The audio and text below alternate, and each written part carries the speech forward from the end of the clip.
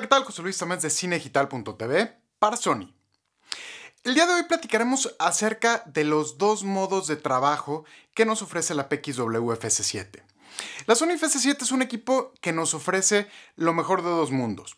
Por un lado, nos da la flexibilidad de trabajar como si fuera una cámara de video tradicional y por el otro lado, nos da también la posibilidad de trabajar de la misma forma en la que trabajan equipos de mayor gama como la Sony PXW F55, utilizando modos log y exposure index.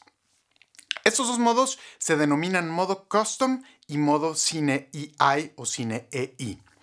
En el modo custom, básicamente lo que vemos en la pantalla es lo que se graba. Es decir, podemos obtener una imagen lista para ser utilizada directamente desde la tarjeta sin necesidad de realizar postproducción o algún tipo de proceso de corrección de color o algo por el estilo. En el modo custom se ofrecen múltiples gamas y hypergamas que nos dan una gran flexibilidad en términos de los ajustes de color, rango dinámico, etc. El segundo de los modos es el modo llamado Cine EI o Cine EI. Este utiliza dos opciones de curvas logarítmicas de Sony llamadas S-Log2 y S-Log3. La función de estas curvas logarítmicas es poder capturar todo el rango dinámico de la cámara, el cual en este caso es de cerca de 14 stops para que lo podamos tener disponible en postproducción.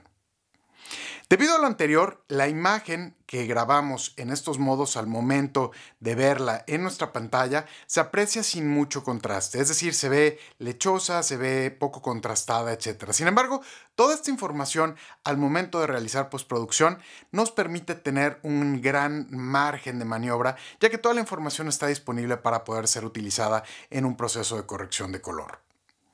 En el modo Cine EI tenemos además tres modos de espacio de color. S-Gamut, que se utiliza en combinación con S-Log 2, y S-Gamut 3 y S-Gamut 3 Cine, que se utilizan con S-Log 3. S-Gamut y S-Gamut 3 tienen más rango dinámico. El modo S-Gamut 3 Cine tiene un poco menos.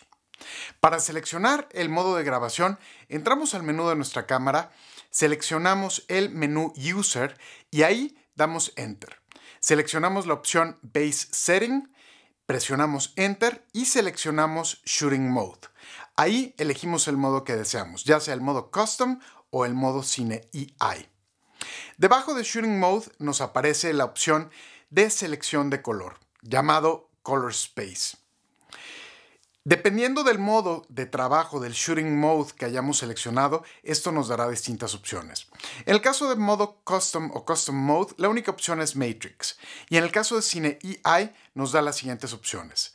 Es Gamut sobre S-Log 2, es Gamut 3 Cine sobre S-Log 3 y es Gamut 3 sobre S-Log 3. La recomendación general en el modo Cine EI es, es elegir la opción de S-Gamut 3 Cine sobre S-Log 3, ya que es la más sencilla de utilizar.